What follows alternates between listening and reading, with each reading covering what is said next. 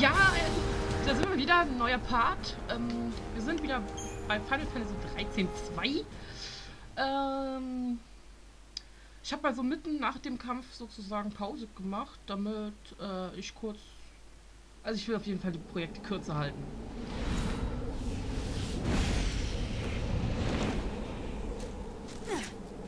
Ich weiß ja noch nicht, wie das mit dem Speichern läuft. Wow, fetzt aber volle Kanne, ey. Ich bin schon so aufgeregt. Das Spiel wird richtig hammermäßig. How do we fight him? This is not your battle. There's something else I need you to do. What? Bring my sister to me. Her name is Sarah. Okay.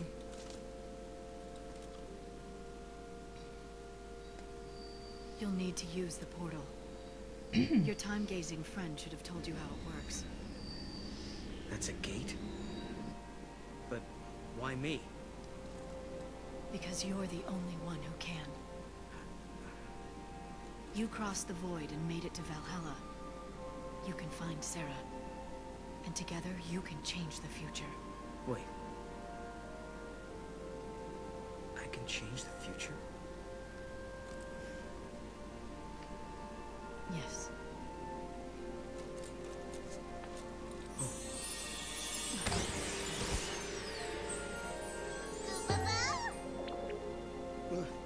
Mock.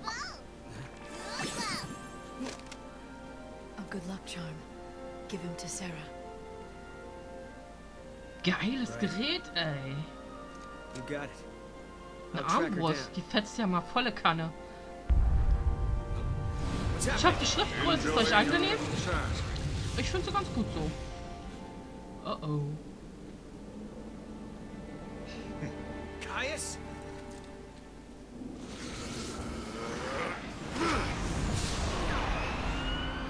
Ach nö. Get to the gate. I'm counting on you. Okay. Der hat doch voll ein Rad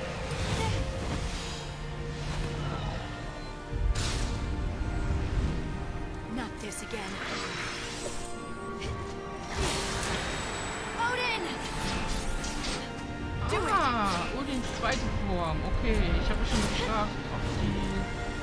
Äh, What the?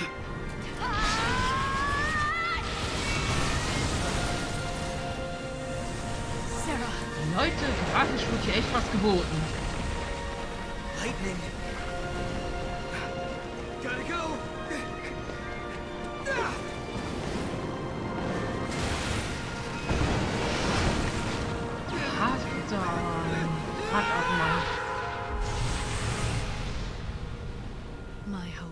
Go with you, Noel Kreis. Noel Kreis. Become an arrow through time and speed your way to Sarah. Und such Sarah. Be there for her. Because I no longer can. Hm.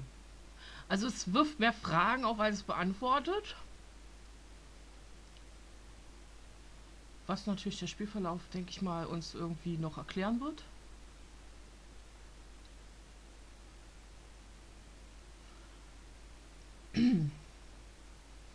Ja, so sieht ein Ladebildschirm aus, ne? So vom Final Fantasy, diese Uhr da, diese oder Kompass oder was auch immer.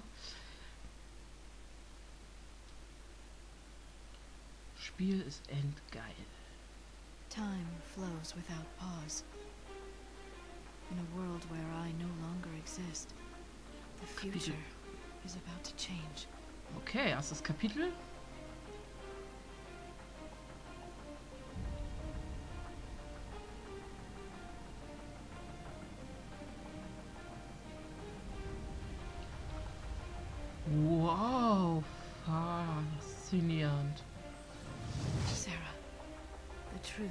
Survives, but only you remember it.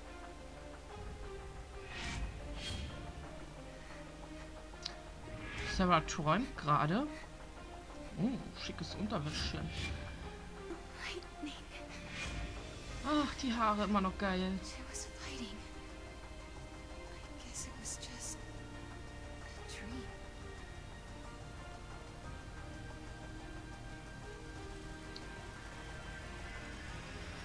Und das ist ja mal echt episch, was jetzt gerade passiert. Was ist das so geil, ey.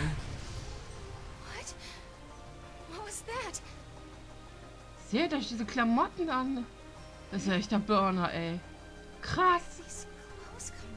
Ach ja, schade, dass man im Spiel nur sowas erleben kann. In der Realität gibt es sowas ja leider nicht. Oder habt ihr es schon mal erlebt? Im Bett wacht auf und plötzlich habt ihr was ganz anderes an? Höchstens, wenn ihr vorher einen gesoffen habt.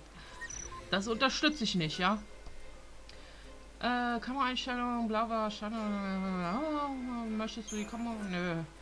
Wähle Kameraeinstellung, lasse ich mal alles auf Standard. Überprüfe die Kameraeinstellung, bla bla bla, möchte sagen, äh, ja. Unter Einstellung Menü, bla bla, kann jederzeit Kamera geändert werden. Benutze L, um mich bewegen, Tür öffnen und aus dem Schlafzimmer. Aha. Ja. Ich lese nicht so viel, äh, ich lese nicht so gerne. Weil ich, äh, aha, so bewegt man sich also.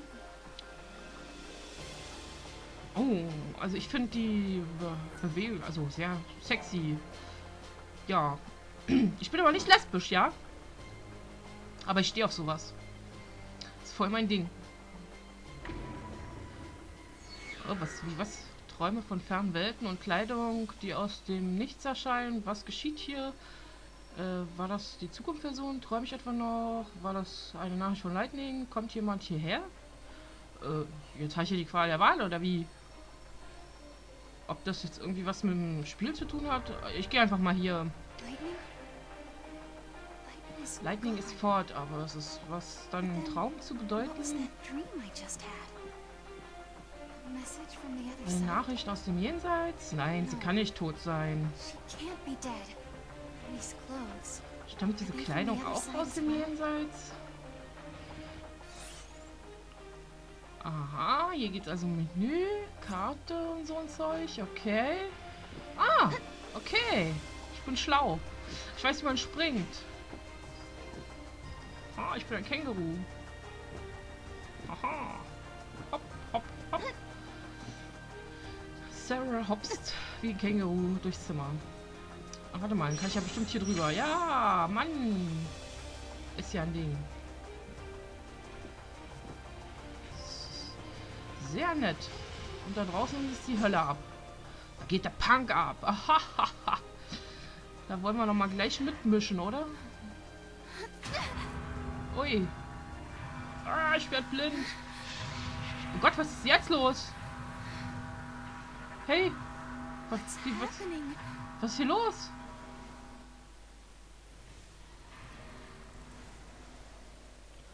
Äh. Ah, schon wieder so ein. Wo ist die Siedlung? Alles sieht so fremd aus. Was ist das für ein Ort? Sind meine Erinnerungen eine Lüge? Bin ich gestorben? Träume ich noch immer? Bin ich in der Zukunft? Äh. Ja. Bin ich hier gelandet? Das erscheint das Ende der Welt zu sein.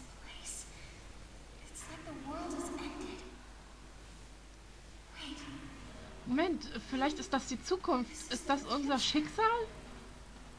is this what's going to happen to us? But why? Aber warum?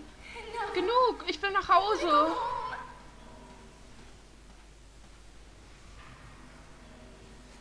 Home. Und ich spreche jetzt mal zusammen.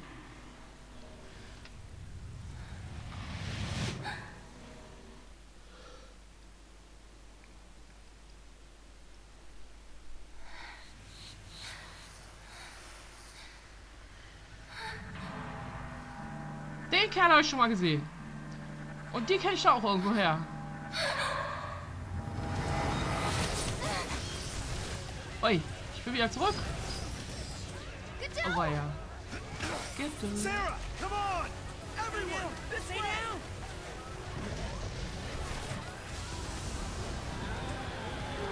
Oh, der ist niedlich. Der erinnert mich irgendwie an Walker. Ui,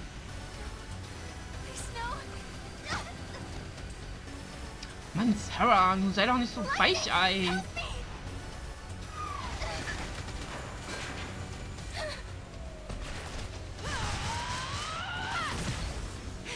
Get a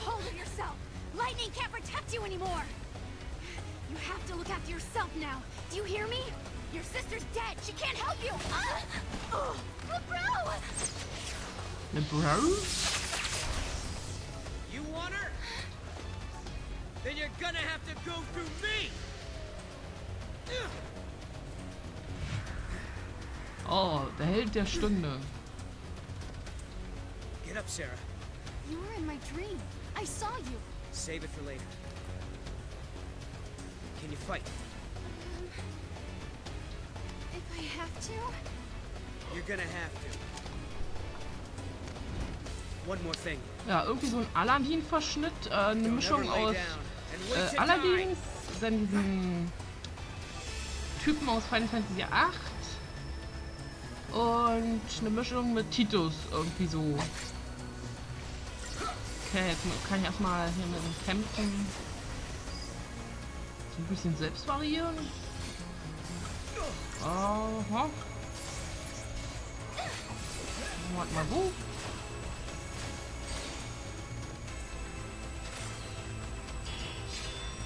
Oh, nur drei Sterne. Okay, war ich aber nicht so toll.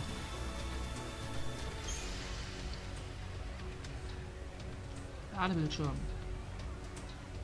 Lädt, lädt, lädt, lädt, lädt. Besiege alle Gegner. Na, das ist doch mal eine Ansage.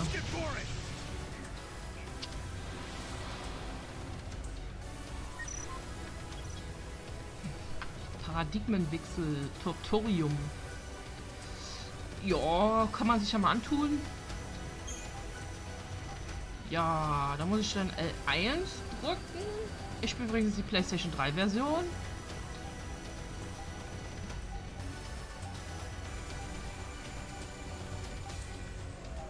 Für die, die es lesen wollen, ich habe es mal ein bisschen länger im Bild gelassen.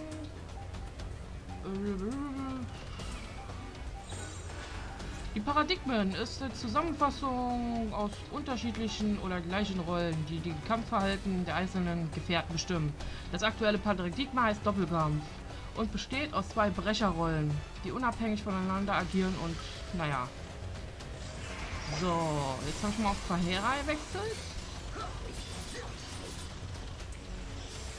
Also Brecher und Verheera, ja.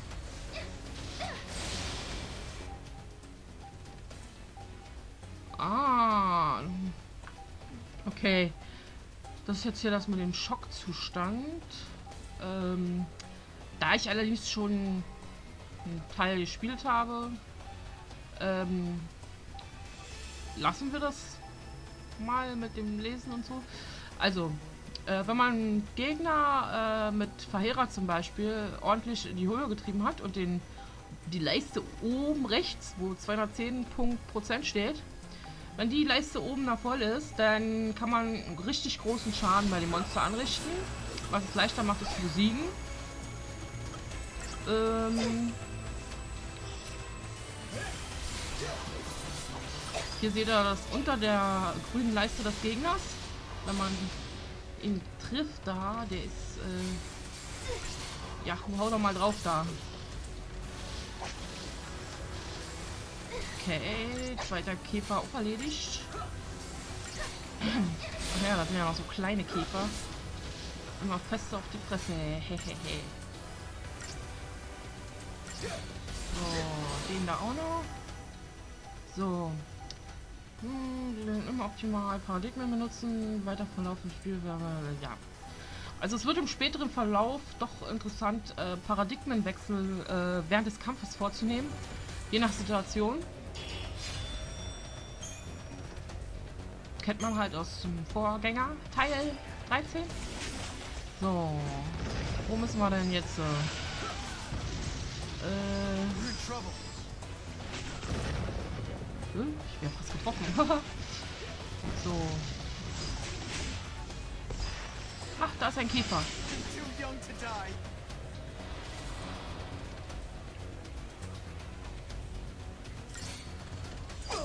Nette Actioncam gewesen von, von diesem Mond da auf die Monster. herunter. Ich bin ja auch sehr grafikgeil, muss ich sagen. Ich, ähm, ich setze ja bei Spielen oft äh, darauf, dass mich das grafisch anspricht. Und hier kann ich das äh, sehr befürworten. Also es gefällt mir ziemlich gut sogar. Waffen sind geil, die Klamotten, besonders hier Sarah fetzt mal volle Kanne. Und wieder nur drei Sterne. Aber ich spiele schon auf einfach. So, haben wir hier noch irgendwo was zu bekämpfen? Ja, halten wir noch was. Wer will noch mal? Wer hat noch nicht? Tita hat hier noch mal Platz für ein paar äh, Käfer im Jenseits.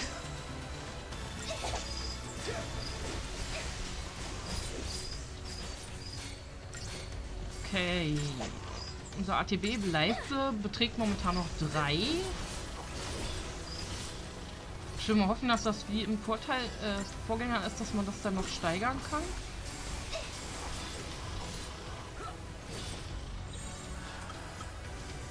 So, was machen wir? Doppelkampf. Ach nee. Das war jetzt... Das sind ja beide Verteidiger.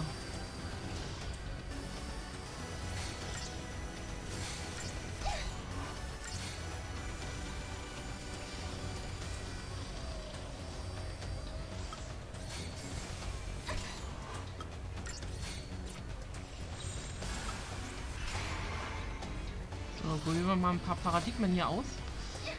Äh, Brecher und Verteidiger, naja. War auch nicht so doll. ja, es sind die ersten Kämpfe, da muss man sich erst ein bisschen einfuchsen. Später sieht das dann bestimmt nicht mehr so äh, lapidar aus.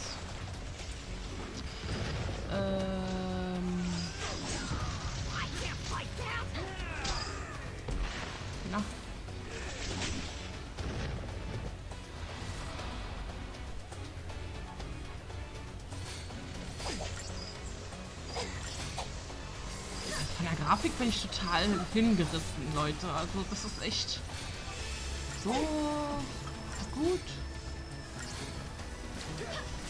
Ich meine, klar, man hat nicht unbedingt Zeit, sich jetzt die Umgebung etwas genauer anzuschauen, weil man hier sich auf den Kampf konzentrieren muss. Ist ja aktiv Time, ne? Ähm, wenn ich jetzt pausiere oder so, dann passiert da bei den Gegnern trotzdem weitere Angriffe. So, den haben wir auch erledigt. Warum kriege ich hier immer bloß drei Sterne? Bin ich so schlecht?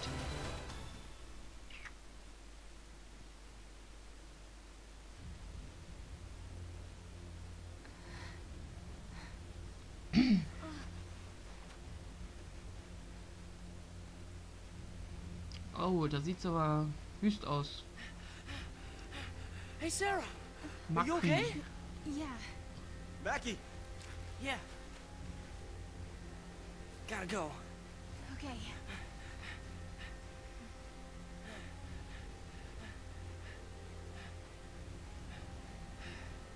All right, everyone, listen up.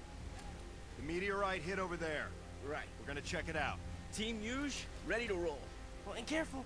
That area's crawling with monsters. So stay close. Come on. Okay. You heard him. Move out. With you. Mhm.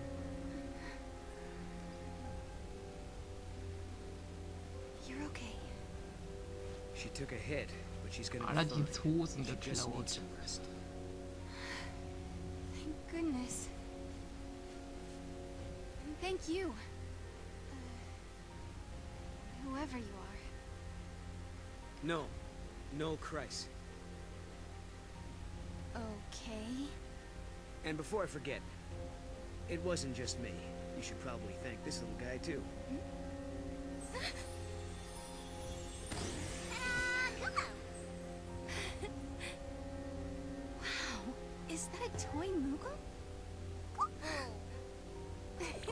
Supposed to be your lucky charm.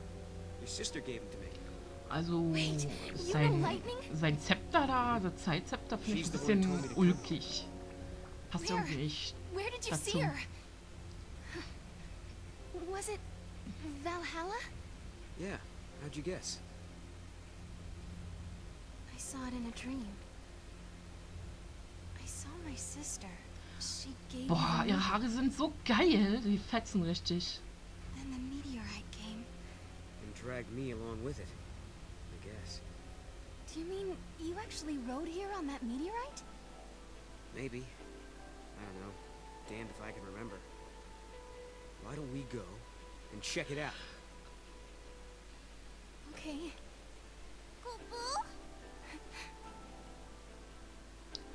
Cooper? Oh, ist ja Now I echt know for genial. Sure. Lightning is alive. She's in a place called Valhalla. I'd only just met Noel, but I believed him. I believed every word he said. Even though it couldn't possibly be true. It seems like only yesterday. The smile on Lightning's face when she gave her blessing for Snow and me to get married. But I'm the only one who ever remembered that. No one believes. It's just a dream, they say.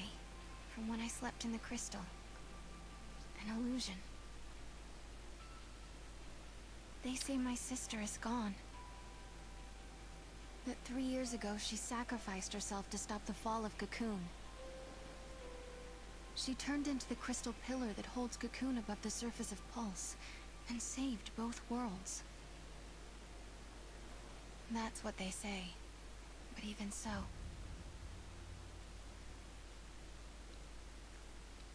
Ja, ich würde mal sagen, wird wieder Zeit, so langsam den Part zu beenden. Im nächsten Part werden wir sicherlich dann irgendwie den Meteoriten aufsuchen. No? Uh.